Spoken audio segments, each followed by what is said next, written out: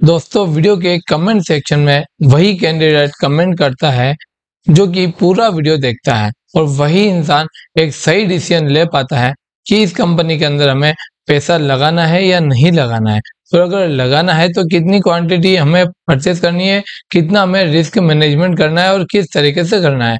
उसके सारे doubt video पूरा देखने से ही क्लियर हो जाते हैं। तो उम्मीद करता हूँ, ज़्यादा से ज़्यादा लोग जो है वीडियो को कंप्लीट स्टडी के साथ देखें और इस स्टॉक के बारे में आप क्या सोचते हैं, कमेंट सेक्शन में हमें ज़रूर बताइएगा। आप यहाँ देख सकते हैं, मैंने आपके सामने तीन तीन महीने के सेल्स और प्रॉफिट का डेटा प्रेजेंट किया है। यानी इनके क्वार्टरली रिज़ल्ट आपके सामने प्रेजेंट किए हैं। आप यहाँ देखिए, कंपनी सितंबर 2023 में 340 करोड़ का सेल्स करती है, जो कि हर क्वार्टर में बढ़ते बढ़ते चार सौ बासठ करोड़ का इनका सेल्स हो चुका है।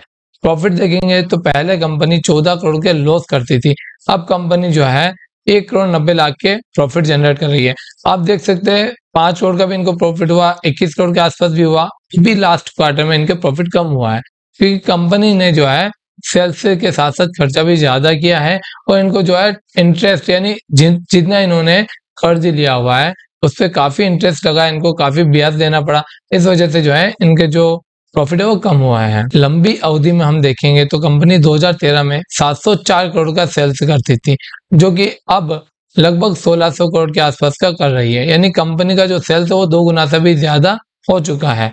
वहीं अगर प्रॉफिट देखेंगे तो पहले कंपनी पाँच करोड़ के आसपास करती थी, अभी कंपनी अट्ठाईस करोड़ के आसपास का प्रॉफिट जनरेट कर रही है। पहले कंपनी के पास सनसठ करोड़ के रिज़र्व थे।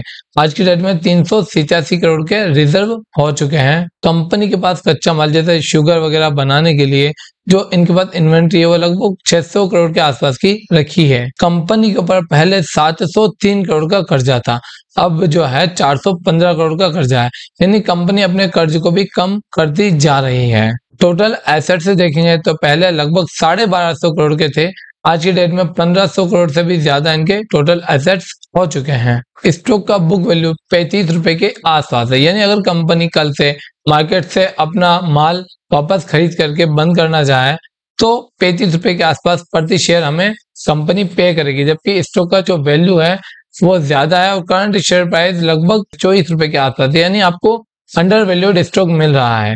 जो कि बहुत सारे लोग सर्च करते रहते हैं। अंडर वैल्यूड स्टॉक बताइए। स्टॉक का R O C R O profit growth negative है सेल्स ग्रोथ भी नेगेटिव है। लेकिन ये ईयर ऑन ईयर बेसिस पे क्वार्टर ऑन क्वार्टर बेसिस पे काफ़ी बेहतरीन है। कंपनी के प्रोमोटर की होल्डिंग लगभग साढ़े बाईस परसेंट के आसपास है। एफ़ के पास पॉइंट ज़ीरो वन गवर्नमेंट के पास one point six six percent और पब्लिक के पास लगभग छिहत्तर परसेंट के आसपास की हिस्सेदारी बनी हुई है। कंपनी का बिज़नेस समझ लेते हैं कि कंपनी करती क्या है। तो दोस्तों कंपनी जो है आप यहाँ देख सकते हैं शुगर का बिज़नेस करती है, ये इनका मेन बिज़नेस है।